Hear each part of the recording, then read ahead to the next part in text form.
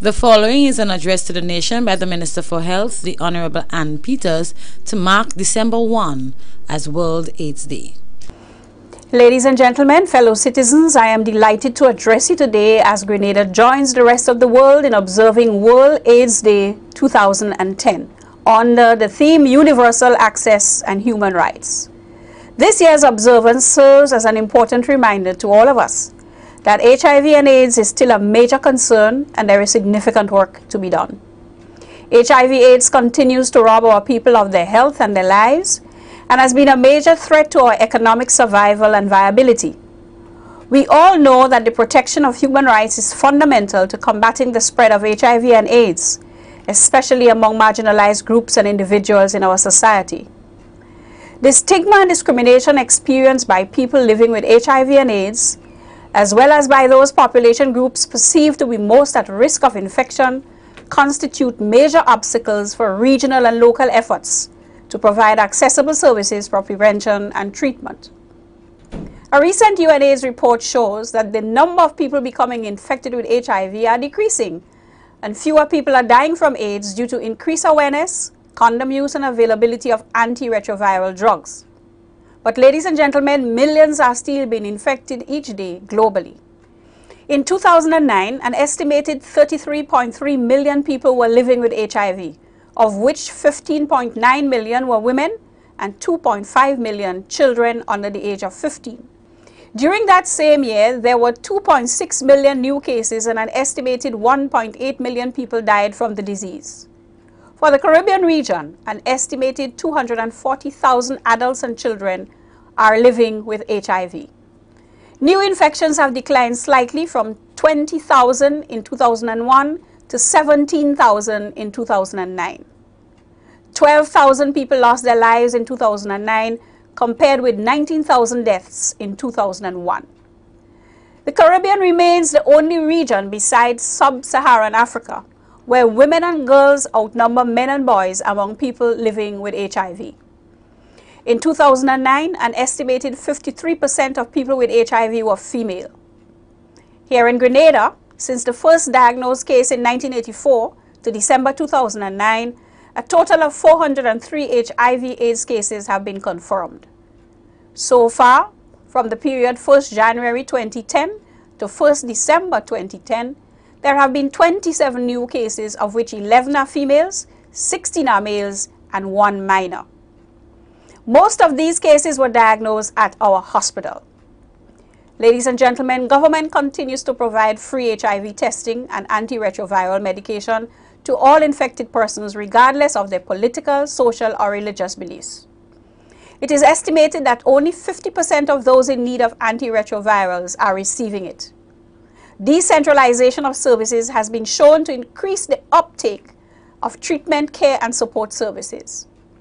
Continued efforts will be made to ensure universal access to antiretroviral services in the coming year.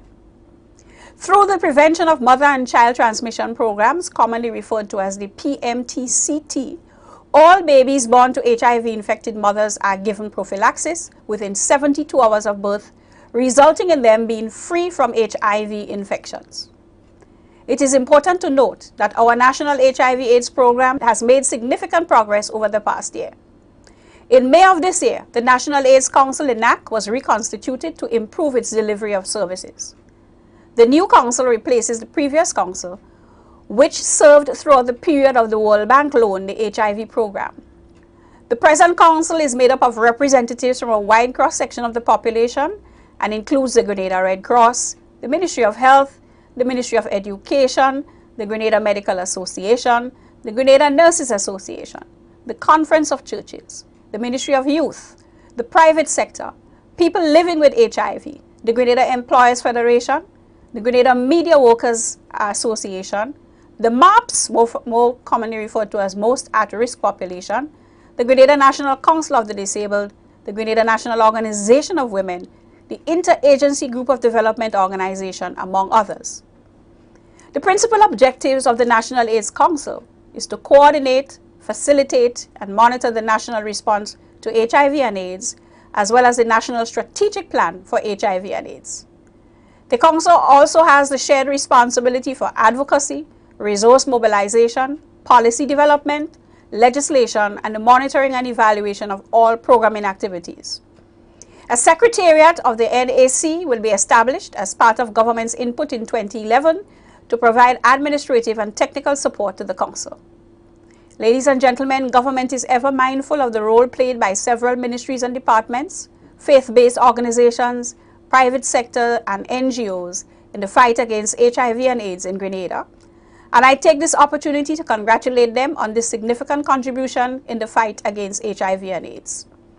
I also wish to extend special appreciation to our regional and international organizations for their technical and financial support given to the government of Grenada and the people of Grenada, Pan American Health Organization, the Global Fund for AIDS, Tuberculosis, and Malaria, the United States President's Emergency Plan for AIDS Relief, the Caribbean Community Pan-Caribbean Partnership Against HIV and AIDS, the Joint United Nations Program on AIDS, the United Nations Development Program, United States Agency for International Development, the Organization of East Caribbean States HIV AIDS Program Unit, HAPU.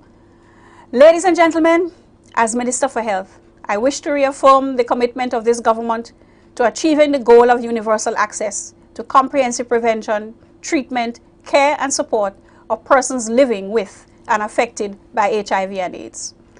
In the coming years, greater effort would be made to scale up services and tackle some of the major obstacles to an effective HIV AIDS response.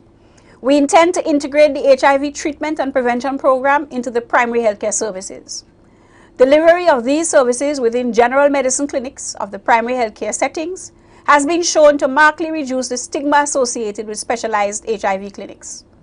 Government shall continue to reinforce the fact that prevention is key to achieving control of the HIV AIDS epidemic.